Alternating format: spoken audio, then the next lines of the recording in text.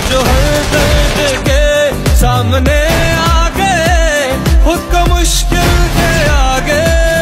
करे सारे मिलके पुकारे गम मिलके सुधार